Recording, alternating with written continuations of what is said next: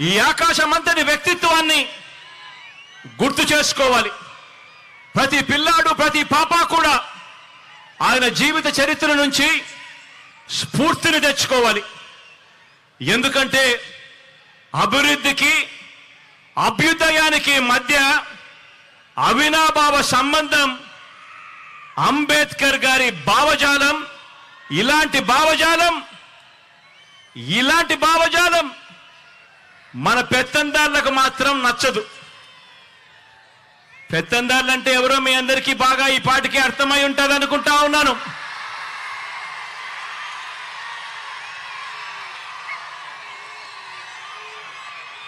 ఇలాంటి అంబేద్కర్ గారి భావజాలం ఈ పెత్తందారులకు మాత్రం అస్సలు నచ్చదు. దళితులకు చంద్రబాబు నాయుడు గారు సెంట్ భూమిని ఇళ్ళ నిర్మాణానికి ఇచ్చింది లేదు. అంబేద్కర్ గారి విగ్రహం నిర్మించింది అంతకన్నా కూడా లేదు.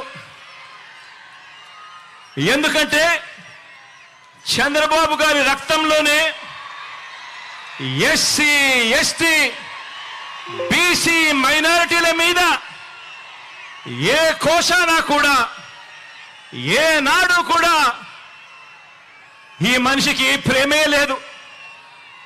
ఎస్సీలో పుట్టాలని ఎవరైనా అనుకుంటారా? అని ఒక ముఖ్యమంత్రి స్థానంలో ఉన్న వ్యక్తి నోరు పారేసుకుంటే గ్రామాలలో ఆ ఎస్సీలు ఎలా బ్రతకగలుగుతారు అని చెప్పి కనీసం ఆలోచన కూడా చేయకుండా నోట్లో నుంచి అంత చులకనగా మాట్లాడే స్వభావం. బీసీల తోకలు కత్తిరిస్తా ఖబర్దార్ అన్న వ్యక్తి సామాజిక వర్గాలంటే గిట్టని ఈ వ్యక్తి మన మాదిరిగా ఈ పేద అక్క చెల్లెమ్మలు బాగుండాలి ఈ పేద కుటుంబాలు బాగుండాలి అని ఏకంగా ముప్పై ఒక్క లక్షల ఇళ్ళ పట్టాలు రాష్ట్రంలో ఎప్పుడు జరగని విధంగా దేశంలో కూడా ఎప్పుడు చూడని విధంగా ఏకంగా ముప్పై ఒక్క లక్షల ఇళ్ళ పట్టాలు అందులో ఇరవై రెండు లక్షల ఇళ్ళ నిర్మాణం.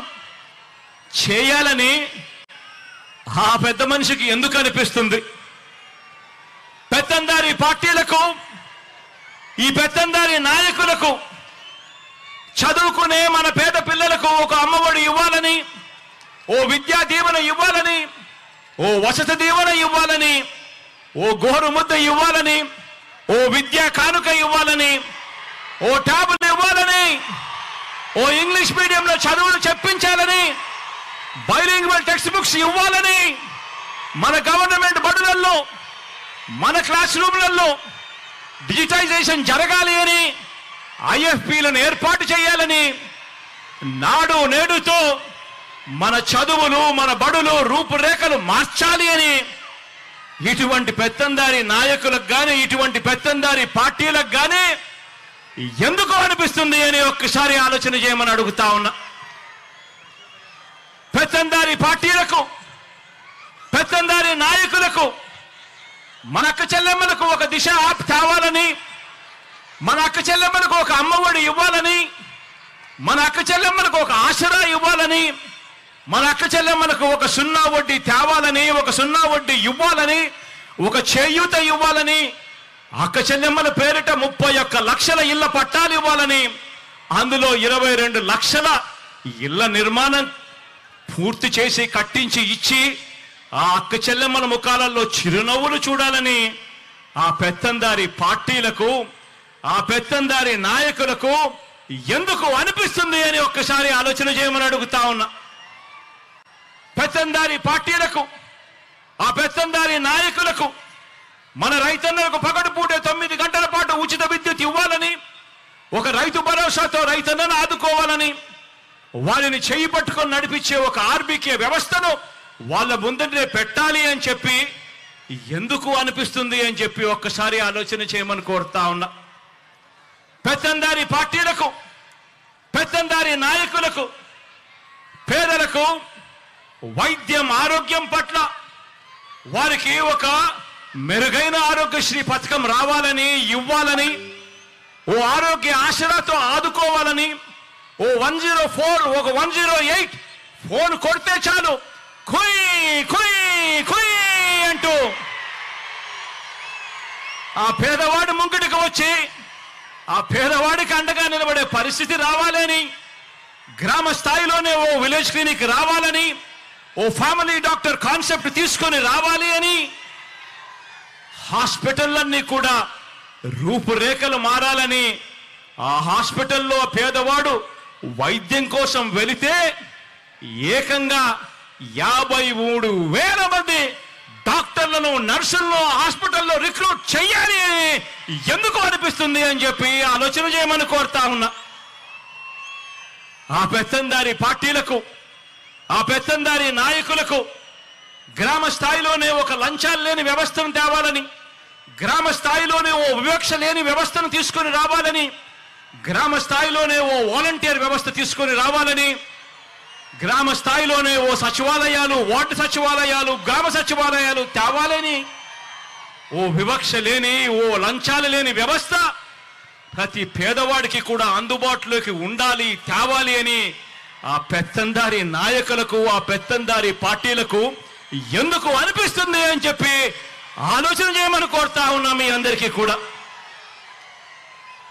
ఈ పెత్తందారి పార్టీలకు ఈ పెత్తందారి నాయకులకు నామినేటెడ్ పోస్టుల్లోనూ నామినేషన్ మీద ఇచ్చే కాంట్రాక్టుల్లోనూ యాభై శాతం నా ఎస్సీ నా ఎస్టీ నా బీసీ నా మైనారిటీ అంటూ వాళ్ళకు యాభై శాతం పదవులు వాళ్ళకే ఇవ్వాలని ఇచ్చేట్టుగా ఏకంగా చట్టం తీసుకొని రావాలి అని వాళ్ళకు ఎందుకు అనిపిస్తుంది అనే ఆలోచన చేయమని అడుగుతా ఉన్నా. మంత్రి మండలిలో మీ బిడ్డ మంత్రి మండలిలో ఏకంగా నాలుగు డిప్యూటీ సీఎం పదవులు నా నా నా అంటూ నా ఎస్సీలకు నా ఎస్టీలకు నా బీసీలకు నా మైనారిటీలకు మనమిస్తే మంత్రి మండలిలో ఏకంగా అరవై ఎనిమిది శాతం మంత్రి పదవులు నా నా నా అంటూ నా ఎస్సీలకు నా ఎస్టీలకు నా బీసీలకు నా మైనారిటీలకు మనమిస్తే సామాజిక పరంగా రాజకీయ పదవుల్లో దేశ చరిత్రలో ఎప్పుడు చూడని విధంగా ఈ యాభై ఆరు నెలల్లో అడుగులు పడ్డాయి. ఏకకాలంలో శాసనసభ స్పీకర్గా ఒక బీసీ ఏకకాలంలో శాసనసభ మండలి చైర్మన్గా ఒక ఎస్సీ శాసనసభ శాసన మండలి డెప్యూటీ చైర్మన్ చైర్పర్సన్గా ఒక మైనారిటీ అక్కకు పెద్ద పీట వేసిన ఏకైక ప్రభుత్వం మీ బిడ్డ ప్రభుత్వం అని కూడా చెప్పడానికి గర్వపడతా ఉన్నా. మనందరి ప్రభుత్వం మనందరి ప్రభుత్వం వచ్చాక రాజ్యసభకు ఎనిమిది మందిని పంపిస్తే అందులో నలుగురు నా వాళ్ళు అనుకుంటా ఉన్నా నా ఎస్సీ ఎస్టీ బీసీ మైనారిటీ వర్గాల వారు అని చెప్పడానికి గర్వపడతా ఉన్నా. మన పార్టీ మండలిలో నలభై మూడు మంది సభ్యులు మన పార్టీలో ఉంటే అందులో నలభై మూడు మందిలో ఇరవై తొమ్మిది మంది నా నా నా నేను పిలుచుకుంటా ఉన్నా నా ఎస్సీ నా ఎస్టీ నా బీసీ నా మైనారిటీ నా అన్నదమ్ములే నా అక్క చెల్లెమ్ములేని గర్వంగా కూడా తెలియజేస్తా ఉన్నా. రాష్ట్రంలో పదమూడు జడ్పీ చైర్మన్ పదవులుంటే రాష్ట్రంలో పదమూడు జడ్పీ చైర్మన్ పదవులుంటే అందులో తొమ్మిది నా నా నా నా నేను పిలుచుకుంటా ఉన్నా. నా ఎస్సీ నా ఎస్టీ నా బీసీ నా మైనారిటీ నా అన్నదమ్ములే నా అక్క చెప్పడానికి గర్వపడతా ఉన్నా. రాష్ట్రంలో పదిహేడు మున్సిపల్ కార్పొరేషన్ మేయర్లు ఉంటే పదిహేడు మున్సిపల్ కార్పొరేషన్ మేయర్లు ఉంటే అందులో పన్నెండు నా నా నా నా అని నేను పిలుచుకుంటా ఉన్నా. నా ఎస్టీలు నా ఎస్టీలు నా బీసీలు నా మైనారిటీలు నా అన్నదమ్ములు నా అక్క చెల్లెమ్మలు మేయర్ పదవుల్లో వాళ్ళే కనిపిస్తా ఉన్నారు అని అంటే ఎనభై ఏడు మున్సిపాలిటీలు ఉన్నాయి రాష్ట్రంలో. అందులో ఎనభై నాలుగు మీ బిడ్డ మీ అందరి ఆశస్సులు దేవుడు దయతో గెలిచాడు. ఆ ఎనభై నాలుగు నీ బిడ్డ గెలుచుకుంటే అందులో నా నా నా నా అని పిలుచుకుంటూ ఏకంగా ఆ ఎనభై నాలుగులో యాభై ఎనిమిది నా ఎస్సీ నా ఎస్టీ నా బీసీ నా మైనారిటీ మున్సిపల్ చైర్మన్ల పదవుల్లో నా అన్నదమ్ములు నా అక్క చెల్లెమ్మలు ఇవాళ కనిపిస్తా ఉన్నారు. నూట తొంభై ఆరు నూట తొంభై ఆరు మార్కెట్ కమిటీ చైర్మన్లు ఉంటే అందులో నూట పదిహేడు ఏకంగా నా నా నా నా అని చెప్పి నేను పిలుచుకునే నా ఎస్సీ నా ఎస్టీ నా బీసీ నా మైనారిటీ అన్నదమ్ములు అక్క చెల్లెమ్మలే ఉన్నారు. నూట ముప్పై ఏడు కార్పొరేషన్ చైర్మన్ పదవులు ఉంటే అందులో డెబ్బై తొమ్మిది నా ఎస్సీ నా ఎస్టీ నా బీసీ నా మైనారిటీ అని చెప్పి ఆప్యాయంగా నేను పిలుచుకునే నా అన్నదమ్ములు నా ఇవాళ అక్కడ కనిపిస్తా ఉన్నారు. మొత్తంగా మొత్తంగా రాజకీయ నియామకాలు పదవుల్లో సగానికి పైగా మొత్తంగా రాజకీయ నియామకాల్లో మొత్తంగా రాజకీయ పదవుల్లో సగానికి పైగా ఎవరున్నారో తెలుసా? నా అక్క చెల్లెమ్మలు ఉన్నారు అని గర్వంగా కూడా చెప్తా ఉన్నా ఈరోజు. నా అక్క చెల్లెమ్మలు ఇవాళ పదవుల్లో ఉన్నారు అని గర్వంగా చెప్పగలుగుతా ఉన్నాను. మన ప్రభుత్వం అధికారంలోకి వచ్చిన తర్వాత ఈ యాభై ఆరు నెలల కాలంలో ఏకంగా రెండు లక్షల పది వేల పైసలకు గవర్నమెంట్ ఉద్యోగాలు మీ బిడ్డ ప్రభుత్వం ఇస్తే ఈ రెండు లక్షల పది వేల గవర్నమెంట్ ఉద్యోగాలలో ఏకంగా ఎనభై శాతం నా ఎస్సీ నా ఎస్టీ నా బీసీ నా మైనారిటీ. నా చెల్లెమ్మలు నా తమ్ముళ్ళే ఈరోజు ఉద్యోగాల్లో ఉన్నారు అని చెప్పడానికి గర్వపడతా ఉన్నా.